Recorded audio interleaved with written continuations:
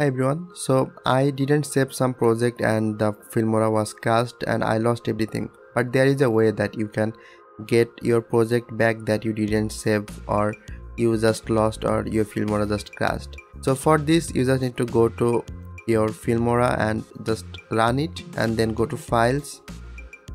From here you just need to go to open project or you can just press ctrl O and from here you just need to go to your documents. Basically filmora will create a folder inside your document that called wondershare.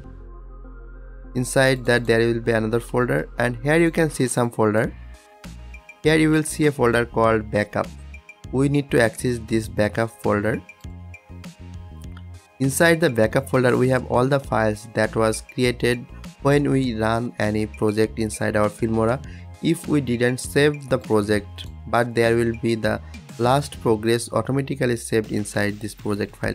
So if your filmora just crashed and you lost everything do not worry it will uh, have all the projects saved. So if i just run any project from here like maybe i edit this video or maybe this one so i just run it from here maybe this one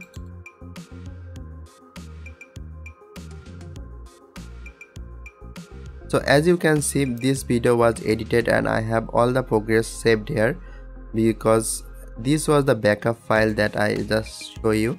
So here you will have all the files that will automatically backup and all the project files. You just need to open it and find it which one was your last progress and then you can just start editing from here. This was the tutorial how you can edit or get back the lost file when filmora crashed. I hope this video helped and if you learned something new please hit the like button and also subscribe to my channel for more videos like this. I'll see you guys on the next video